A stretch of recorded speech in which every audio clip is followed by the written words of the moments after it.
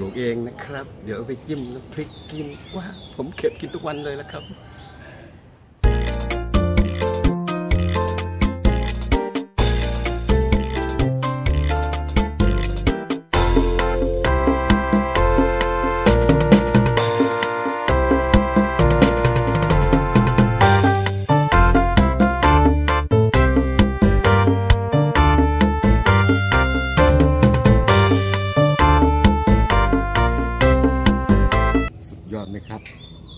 เอง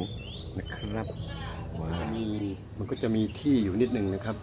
บนเฉลียงตรงนี้ ผมก็เอากระถางมาปลูกนะครับพริกขี้หนูส่วนมากจะเน้นพริกขี้หนูนะครับตอนนี้มะเขือก็ขึ้นมานะครับ มีมะละกอด้วยนะฝั่งโน้นตัวนี้ก็จะเป็นพริกขี้หนูนะครับ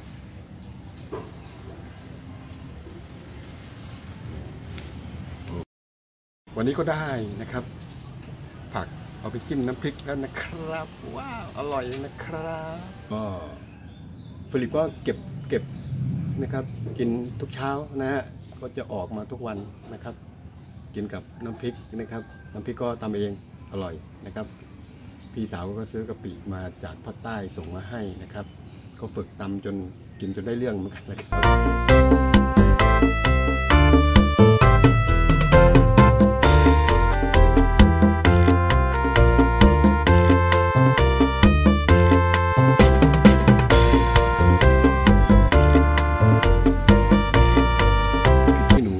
เด็ดเอาไปทาหน้านะครับ หน้าตาจะได้ร้อนแรงนะครับ สดชื่นนะครับให้สายตาผ่องใสก็ทาทาไปที่ตาเลยนะครับนะฮะ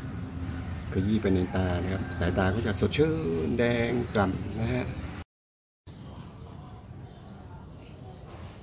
ครับนี่ก็เป็นสวนครัวของฟิลิปนะครับนะฮะก็ได้กินทุกวันเลยว้าวนะครับ สนุกครับปลูกเองกินเองนะครับ